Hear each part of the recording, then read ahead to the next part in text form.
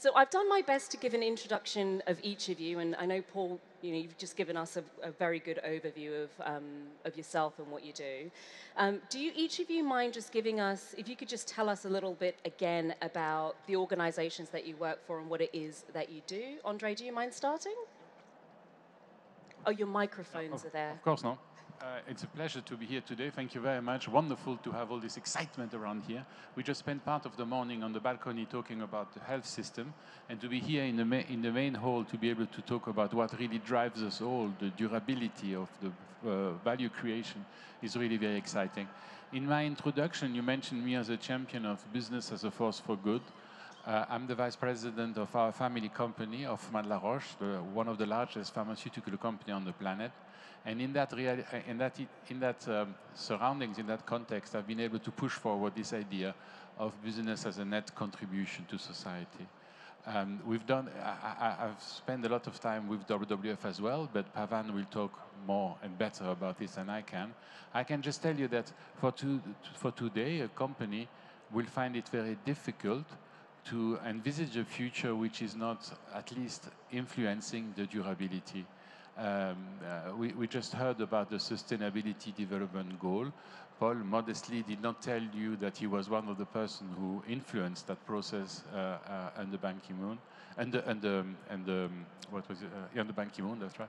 And, and, and I think the idea that businesses no longer specialize into business um, in terms of short-term profit maximization, but into a way to look at society and to serve societal needs and to make a business out of this is a particularly important development. Uh, businesses are not there just to make money. The purpose of business is to serve a community. It's to deliver the products needed, in our case, medication, life-saving medication to patients. And that, that particular uh, activity is something that needs to be put in the center of the purpose of the company. Companies are agent of change, and they have to be good at doing that. Super. Katell, would you agree with that? Yes, I do. I mean, the, I, the institute I work with is called the Hoffmann Global Institute for Business and Society. So you see the link. Thanks, thanks for the cue. And so for me, I work in uh, INSEAD.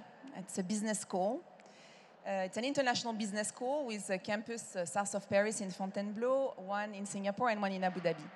And uh, I spent my whole career working on sustainable development with NGOs, with governments, and with the UN. And I joined INSEAD last year to create that institute because personally, I really strongly think that the change we need now is the change in business. And transforming business education to contribute to that is what we need.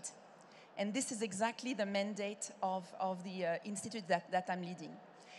Uh, I think we have a lot of social entrepreneurs and impact entrepreneurs in the room here. Uh, we probably have a lot of B Corps. I need to give a shout out also to my colleague at the B Lab France, but we need much more than that we need that movement to go beyond these uh, uh, enterprise to really uh, infiltrate all businesses.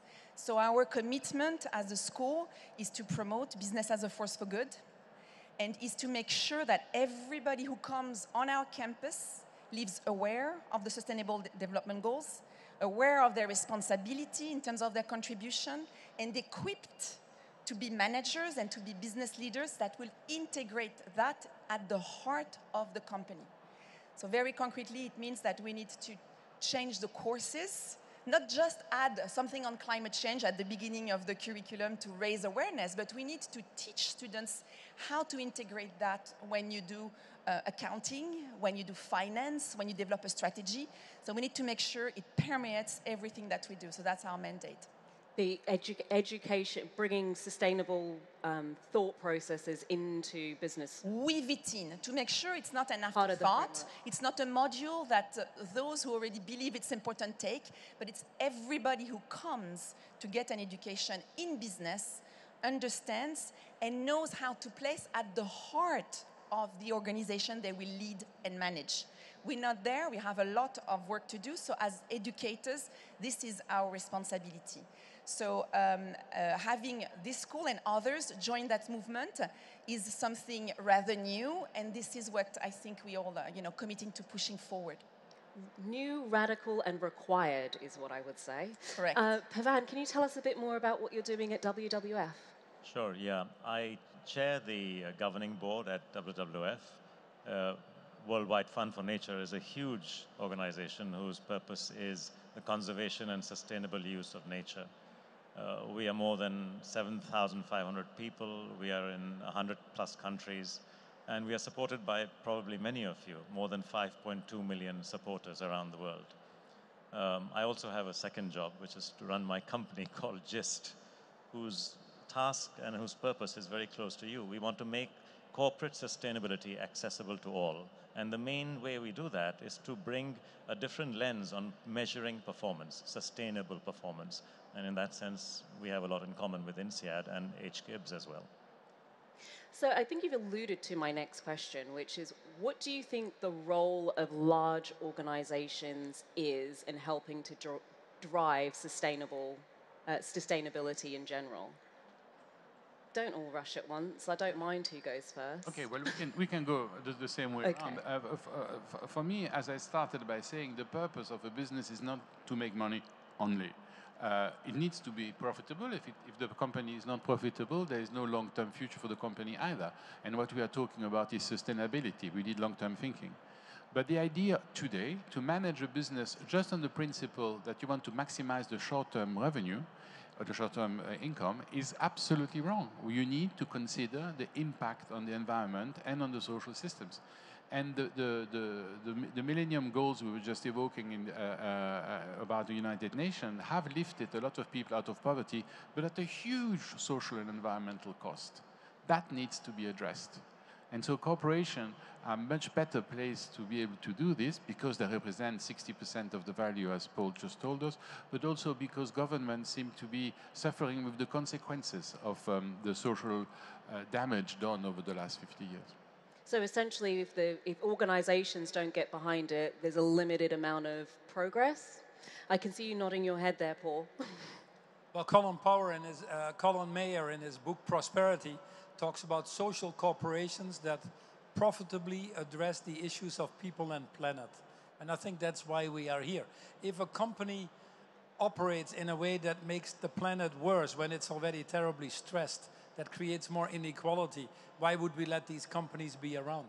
When I was born, the average length of a publicly traded company was 67 years. Today, it dropped down to 17 years. No way. So we, well, that's what it is. So we have a responsibility to ensure that we can keep operating for the longer term. Also means that society accepts us. Business cannot be a bystander in a system that gives them validity in the first place. So that is really the other reason why businesses need to play such an important role. To implement the Sustainable Development Goals cost us three to five trillion dollars a year. Currently, we're only spending about one and a half trillion dollars. So that's a big gap. So you might say, okay, that's why we have governments. But governments don't have any money anymore. The combined effect of overseas development aid is about 160 billion dollars. The numbers are going down. So there's a big gap. 160 billion dollars, two to three trillion that is needed. Houston, we have a problem. So it needs to come from the private sector in innovation, in resources, in financing. And I would argue now, as I said before very briefly, it's actually a very profitable agenda if people understand that. You can't boil the ocean at once or eat the elephant in one bite, but there are enough things we can do to give the people hope and courage and, and confidence, I mean, hope and confidence that we move this world in a better direction than that we're currently doing. I love what you say in terms of um, it's linked to profitability, and I'm guessing, Katell, you see that a lot in terms of the way that you're teaching at the business school to bring new leaders who are thinking quite differently. Yes, and so the, the, the whole idea is that financial profitability should not be the driver, right? I mean, this is, this is, this is a tool. So what we're after are organizations that really integrate this dimension of social and environmental impact in the way they create value. Mm-hmm. So that gives a completely different perspective on what is the core mission of an organization. And to follow up on what Paul was saying in terms of why we need businesses, of course, there is this huge bill that we have to foot, the trillions of dollars to reach the SDGs. But if we don't have business, we will not be able to change the system that we're in. We won't be able to change the, the way we consider what is societal progress. we won't be able to integrate the value of the environment and of humans in, uh, in growth uh, either. So really uh, having business engaged and changing the mindsets of business leaders is uh, what we all need to push for uh, at this moment. Super. Pavan, I can see you've got some extra to add to that. Yeah, I was just trying to, I sometimes explain this point because people think somehow there's a conflict between purpose and profit. And I, and I usually say that as a human being, I need to breathe to live. But breathing is not my purpose. And in the same way, for it to survive, a corporation needs to be profitable, but profits are not its purpose. Its purpose is something else. It could be serving people's health, it could be serving people's education, it could be serving companies' way of measuring performance. That's purpose. So we, I mean, we talk a lot about it, and we, we know. I mean, companies know that we need they need to do something different, right? It's it's not like it's hidden under a rock anymore. Companies, large organizations know there's a problem. Um, many are waking up to doing something quite different. But what sorts of things could they do on a practical level? I mean, you're all involved, and I think sometimes people go, oh, do we just stop using the plastic cups in the office? Is that what we should do? Have you got some tangible examples of things that organizations could do that maybe are a little bit outside of the, the standard box? So, uh, this morning um, on, on, the balcony, we talked about a partnership between insurance company and pharmaceutical companies. How can you deliver to the patient the best possible package to help to disease management and eventually cure? Um, if you do business as usual, in other words, I make a pill, uh, get to the doctor, the doctor then sells it to the patient, um, I'm not getting the same result as if I can actually use my expertise of the disease and of the healthcare environment to service the patient in a personalized manner. So why would I do such a thing? My profit would not necessarily be increased. I do such a thing because it is my mission as a company involved in healthcare to help patients to, be, to, to get better. So the values, that, the moral values we are using to take these sort of decisions are not based on short-term uh, consideration. They're based on to the best possible use of our natural resources and our, and our time in favor of the patient. It's a question of humanity. We, are, you know, we want to be able to help the, the patient in the best possible manner at a human level. Okay. Beautiful. And I think, I, I think sometimes we can, organizations can get disconnected and think, well, it's healthcare, what's that got to do with the environment? Well, if the environment isn't great, then people get ill. We know that. I mean, the two things are connected, but I think this idea of kind of going back to the values of an organization and linking those values to something more sustainable, I can see how that would help people to think somewhat more creatively about the ideas that they come up with beyond just changing the plastic cups in the office. Uh, Paul, I can see you've got quite a few ideas there brewing. Oh, we could talk this for hours, but the first thing we, we need don't have hours. To, uh, we, we, don't, don't have, have hours. It, so I'll limit it to one or two examples. But the first thing we need to do is create amongst the people that run these companies a higher level of awareness and a higher level of willingness to engage. Uh, if a company is, the tone of a company is decided at the top, as they say, a fish starts rotting at, their, at its head. So a CEO of a company needs to be needs to be aware of his or her responsibilities in society. It also means responsibilities of its total impact on the value chain. You cannot outsource your value chain and outsource your responsibilities. When the Rana Plaza factory collapses, the people that sell the brands are responsible, not the 1,011 women that needlessly lost their lives. So we need, when we are in the food business, and the forests of this world disappear, then we are responsible for the deforestation, just like we are for food waste or obesity. So taking that broader responsibility, then you'll form partnerships with people, first in your value chain, or more transformatives afterwards to solve these issues. And when you work together with people on a common objective to solve these burning issues that we deal with, climate change and inequality being the bigger ones, you find solutions that are bigger than each individually can get to.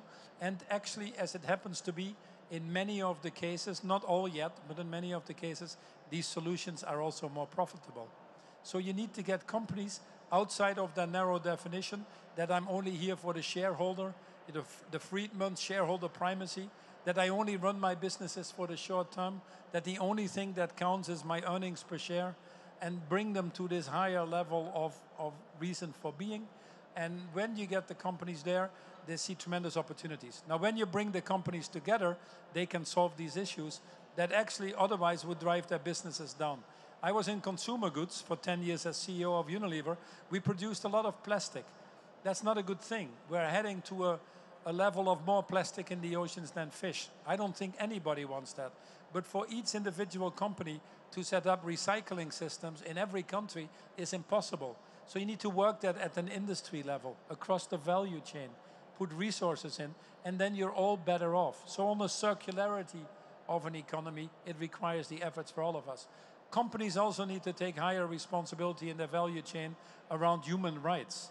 If we keep expensing people as if they don't, you don't care, uh, and, and have child labor, slave labor, or if we try to avoid paying taxes so countries can function, or if we have um, absence of decent living wages, we create problems in society that are far bigger than if we collectively would address them and ensure that everybody can participate. So a new social contract would be another example where you want companies to go together and where you can show that if you do that together, you're all better off. These are examples of these new forms of partnerships, new ways of thinking that we need to get to. And, and it is happening. This is not just wishful thinking. Uh, you can see it happening. Yeah.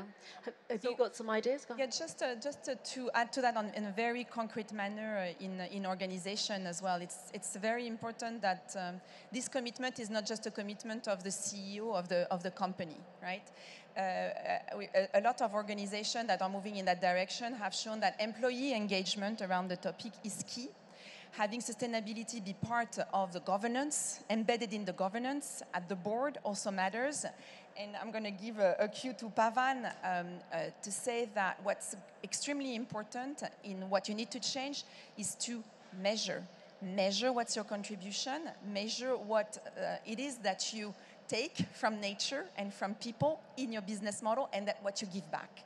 And that's my, my cue to Pavan because how do we measure doing. this then, Pavan? You know, you've got all the answers, I'm told. Well, some of the answers, but I mean, the first point is that uh, Peter Drucker used to say that you cannot manage what you do not measure. And I think that's the first realization. And then you got to realize that actually what we are managing as company directors or as company CEOs is actually our total impact on society, not just our impact on the financial wealth of the shareholder.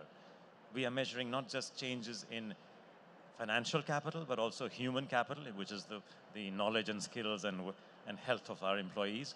We are measuring our impacts on natural capital, which means how much have we emitted pollutants, how much have we done CO2, carbon dioxide, greenhouse gases? What about water pollution, land pollution, etc.?